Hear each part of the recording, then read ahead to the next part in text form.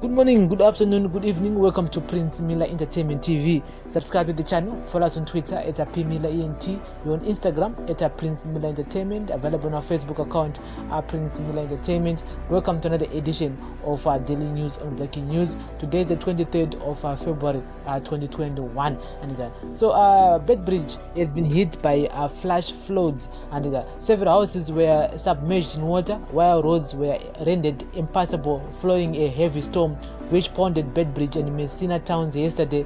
The Messina Mall was flooded while several cars were caught up in the floods caused by poor drainage systems. The hardest hit areas were Dula Vadzimo suburb, which has a very poor drainage system. The Bedbridge where the offices I said uh, that the 76.4 millimeter rainfall was the highest received this year and the second highest for the whole season.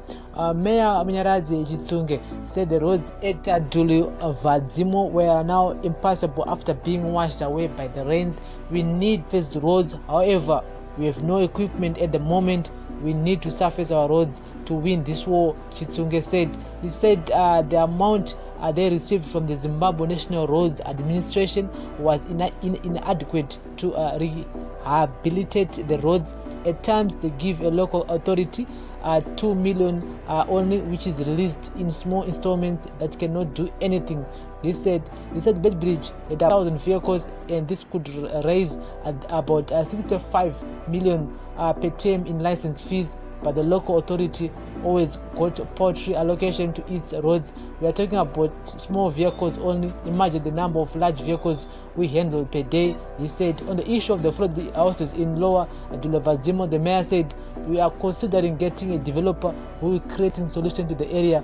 Soon we have a solution. So uh, it's so said that uh, it has caught uh, many of the residents unaware and uh, in the poor drainage system yanakambotaura kuti is the main cause of this whole situation because kana mvura isina madrain uh, eh, painoenda of course mvura ichaungana. At the same time people vanenge vari kunzvimbo yekuti inenge iri uh, wetland then mvura yoendapo yaungana zvakare. Saka is one of the situation that uh, you know, uh, mamacity fathers need to look and uh, into no just kungomirira kuti kana mvura yazonaya chete votanga kuda kumhanya mhanya and everything and, and maroads edu haafanira kugadziriswa and uh, those are things that hurumende uh, i think iri kuzama zvayo but kuzama kwairi kuita is not good enough because uh, maroads anofanira kugadziriswa mana.